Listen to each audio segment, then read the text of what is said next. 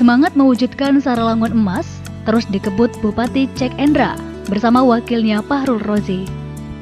Salah satu prioritas kerja untuk meningkatkan kualitas pendidikan dilakukan Bupati dan jajaran dengan aktif bersilaturahmi dengan para guru. Kali ini, pertemuan dipusatkan di Gedung Olahraga Kecamatan Sarolangun. Kehadiran Bupati Cek Endra didampingi Ketua PKK Rosita Endra, Kadis Pendidikan Lukman, Kapolsek Kota Sarolangun Tony Ardian LT, Camat Sarolangun Muhammad Idrus, serta SKPD lingkup Pemkap Sarolangun ini disambut antusias para guru sekecamatan. Para guru tidak menyangka, di sela kesibukan Bupati masih sempat menggelar silaturahmi ini.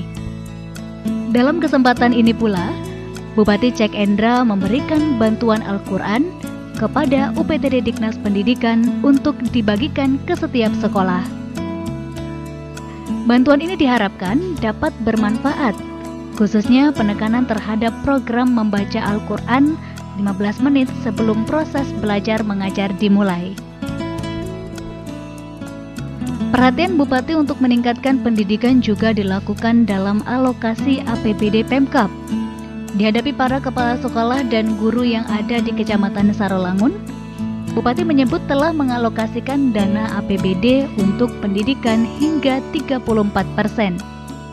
Jauh dari standar yang ditetapkan, Hal ini dilakukan Bupati Cek Endra karena salah satu visi besar Sarolangun Emas adalah sektor pendidikan. Baru, baru ya.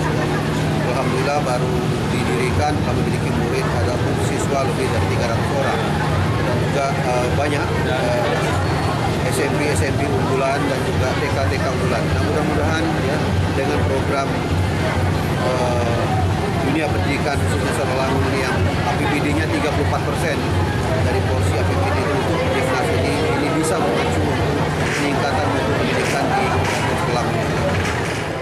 Surya Kurniawan, Jambi TV.